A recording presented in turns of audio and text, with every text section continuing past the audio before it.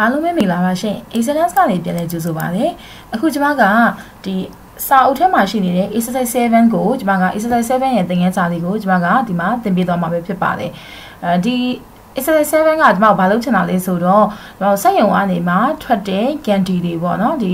တကြားလုံးတွေချိုချင်တွေဒါကြီးကိုကျွန်မက packing ပြုလုပ်မှာဖြစ်တယ်အဲ packing ပြုတဲ့အချိန်မှာထွက်လာတဲ့ pieces တွေကိုကျွန်မက packing လုပ်တဲ့အချိန်မှာအဲပိုနေတဲ့ pieces တွေပေါ့နော်ဘယ်လောက် packing ထွက်မလဲဆိုတာ ਨੇ အဲဘယ်လောက် pieces တွေပိုနေမလဲဆိုတာကိုကျွန်မတို့ကအဲဒီ event excel ရဲ့ function တွေကိုအသုံးပြုပြီးတော့ကျွန်မတို့ကတွက်မှာဖြစ်ပါတယ်เนาะဒါကတော့လိုအပ်တဲ့နေရာမှာလိုအပ်တယ်လို့သုံးလို့ရပါတယ်ဒါတော့ကျွန်မတို့က exercise လုပ်ပြတာဖြစ် တဲ့အတွက်ကြောင့်မလို့ဒါနမူနာအနေနဲ့လုပ်ပြရပါเนาะ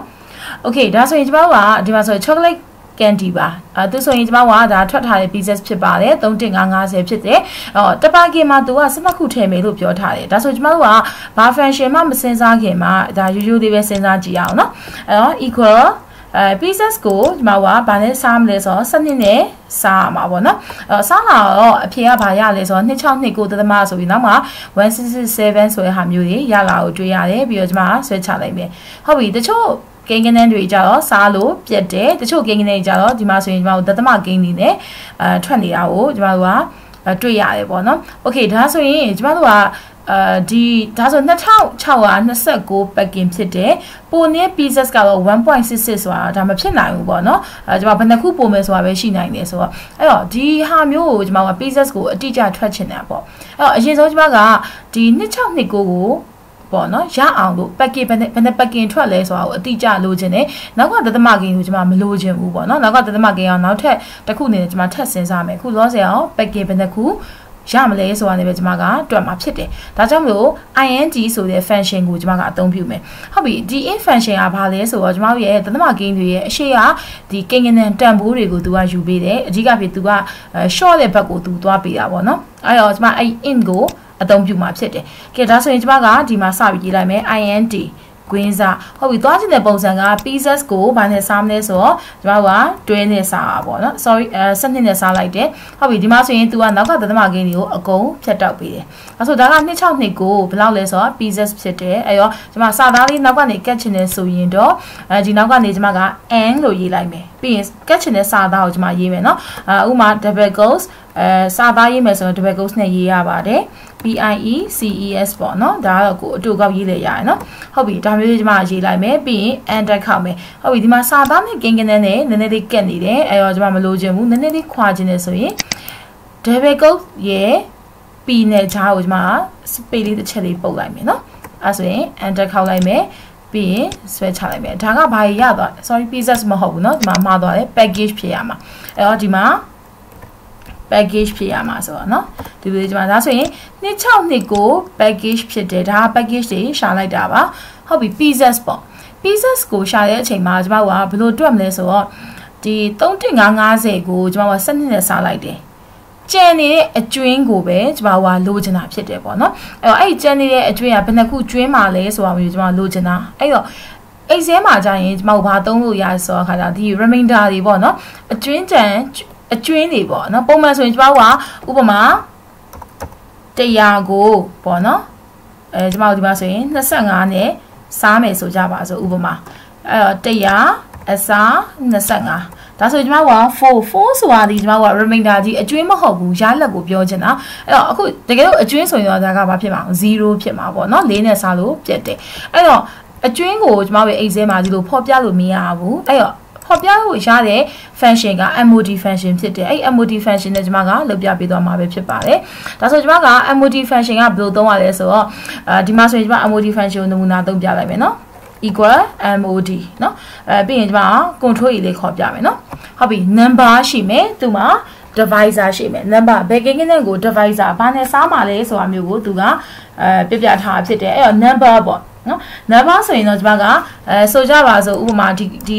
3550ဝယ်နမူနာပြောရမယ်နော်3550ကိုကျွန်မကဘာနဲ့စားမလဲဆိုတော့တွဲနဲ့စားမယ်ဆိုကြပါစို့เนาะဒါဆိုရင် तू ကအကျွင်းကဘယ်လောက်ကျန်မလဲဆိုတော့ခါကျ2 pieces ကျန်မယ်တဲ့အဲ့လိုပြောထားတယ်အဲ့တော့ကျွန်မကဟုတ်ရဲ့လား2 pieces ကျန်တာဟုတ်ရဲ့လားဆိုတော့ကျွန်မကစစ်ကြည့်ရအောင်เนาะအဲ့တော့ equal သူက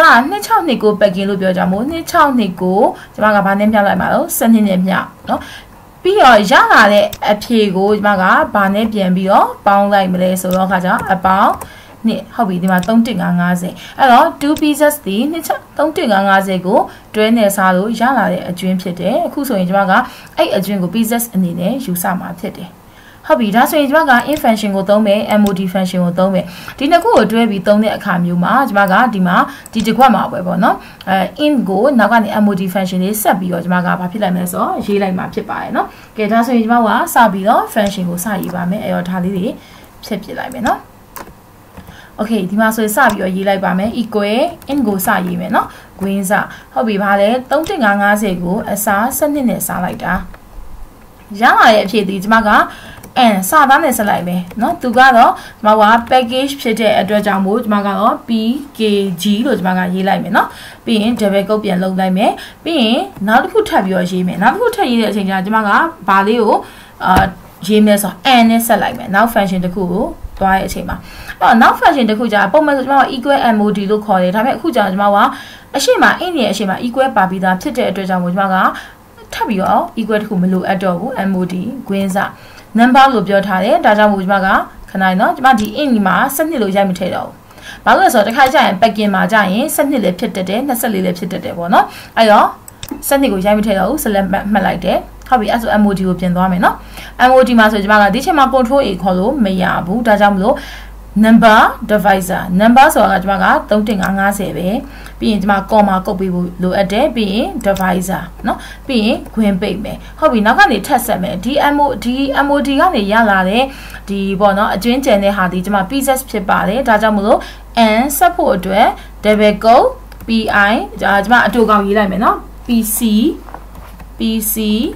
s လို့ရေးလိုက်မယ်ပြီးရင် double quote ကုတ်လိုက်မယ်เนาะအဲ့မှာစာသားနဲ့ကိန်းကနေနဲ့နည်းနည်းလေးချားချင်ကျွန်မ double quote နဲ့ p နဲ့ချားမှာ space လေးခံလိုက်မယ်ကဲဒါဆိုရင်ဘယ်လိုဖြစ်သွားပြီဆိုတော့262ကို package 2 pieces ပေါ့ကဲဒါဆိုရင်262ကို package ရဲ့2 pieces ကနည်းနည်းလေးရောနေတယ်အဲ့တော့ကျွန်မနည်းနည်းလေးခွာမယ်เนาะခွာတဲ့အချိန်မှာဘာသုံးမလဲဆိုတော့ဒီ pkg g ရဲ့နောက်မှာကျွန်မက